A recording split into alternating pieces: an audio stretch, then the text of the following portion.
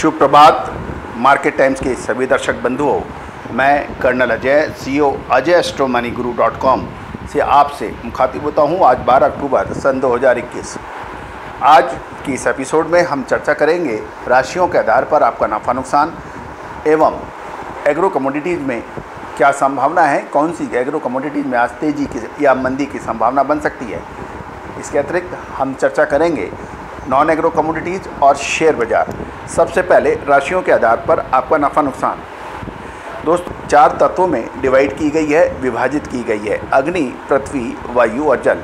अग्नि तत्व की तीन राशियाँ, मेष, सिंह और धनु राशि। आज आप मुनाफा कमा सकते हैं। दो से तीन बजे के बीच में रखिए अतिरिक्त सावधानी। वृषभ, कन्या और मकर राशि पृथ्वी तत्व की राशियाँ हैं। बड़े निवेश पे फोकस करो, लंबे अवधि के लिए निवेश कर रहे लेकिन 12 से एक बजे के बीच में रखनी है अतिरिक्त सावधानी यदि इंट्राडे ट्रेडिंग करते हैं तो।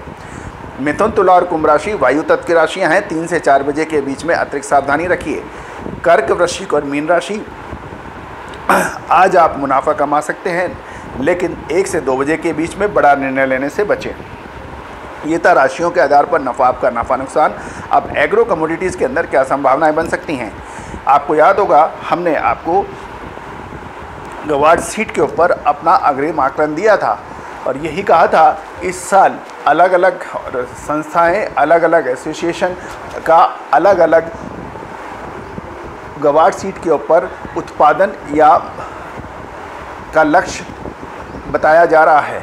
लेकिन हमारे अनुमान के हिसाब से 25 से 30 लाख बोरी का उत्पादन होने की संभावना है।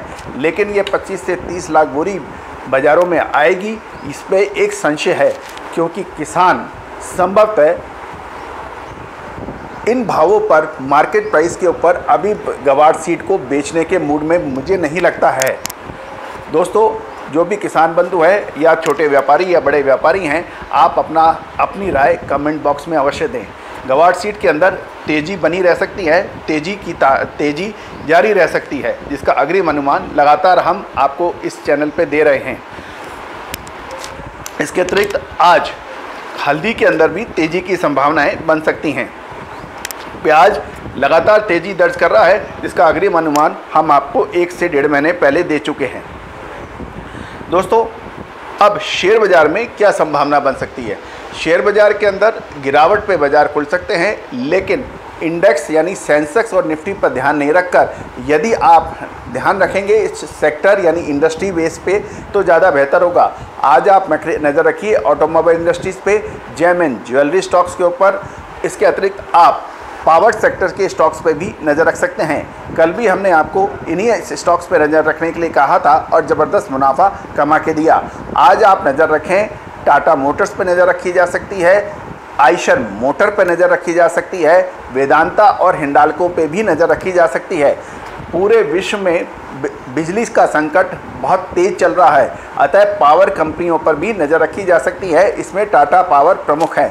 इसके अतिरिक्त शुगर कंपनियाँ, यानी शक्कर के क्षेत्र की कंपनियों में भी नज़र रखी जा सकती है।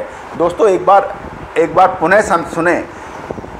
यदि आप अल्प अवधि यानी इंट्राडे के ट्रेडर्स हैं तो आया हुआ मुनाफा तुरंत बुक कर लें। और यदि आप मध्यम और लंबी अवधि के निवेशक हैं तो यदि आपको सौ शेयर खरीदने हैं तो 25-25 करके चार बार धैर्यपूर्वक खरीदें।